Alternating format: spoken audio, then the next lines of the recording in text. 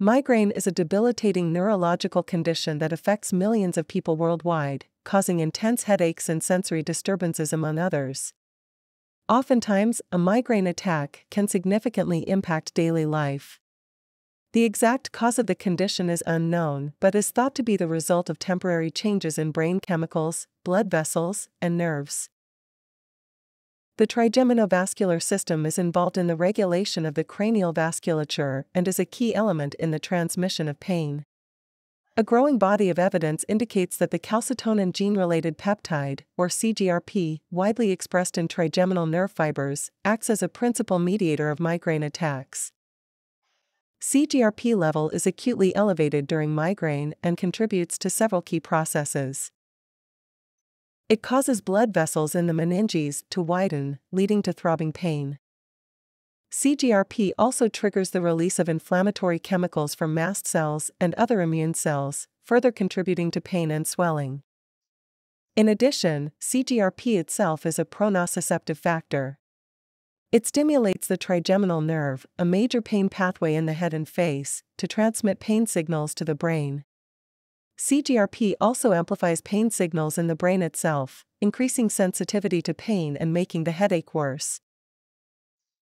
Rimegepant is an antagonist of the calcitonin gene-related peptide receptor.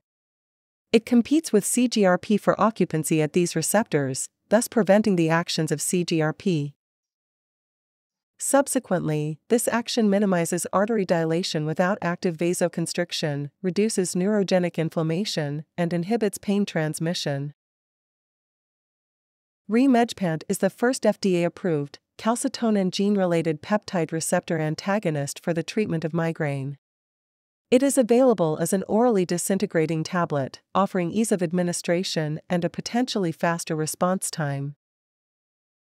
FDA approval of Rimegepant comes from positive results of the double-blind randomized Phase 3, Study 303. Rimegepant was more effective than placebo at relieving pain and the most bothersome symptoms when taken as needed for the acute treatment of migraine. Two hours after administration, 21% of patients on Rimegepant experienced freedom from pain compared with 11% for placebo. Additionally, 35% experienced freedom from their most bothersome symptom, for instance, light sensitivity, sound sensitivity, or nausea, compared with 27% for placebo. These benefits were sustained through 48 hours for some patients. Study 305 was a pivotal phase 3 trial that assessed the efficacy of Rimegepant for the preventive treatment of migraine.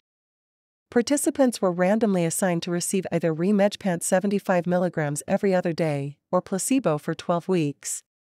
Rimegepant significantly reduced monthly frequency of migraine when taken every other day for preventive treatment. Mean migraine days, or MMD, was lesser by 4.3 days with Rimegepant compared with 3.5 days with placebo. By three months of treatment, approximately half of patients experienced at least a 50% reduction in moderate to severe migraine days. Overall, Rimegepant is effective, safe, and well tolerated. As the first dual agent approved for both treatment and prevention of migraine, Rimegepant represents a useful option for the management of migraine in adults. And that's it for today's pharmacology video. If you enjoyed this video, please give it a thumbs up and subscribe to the channel for more pharmacology content.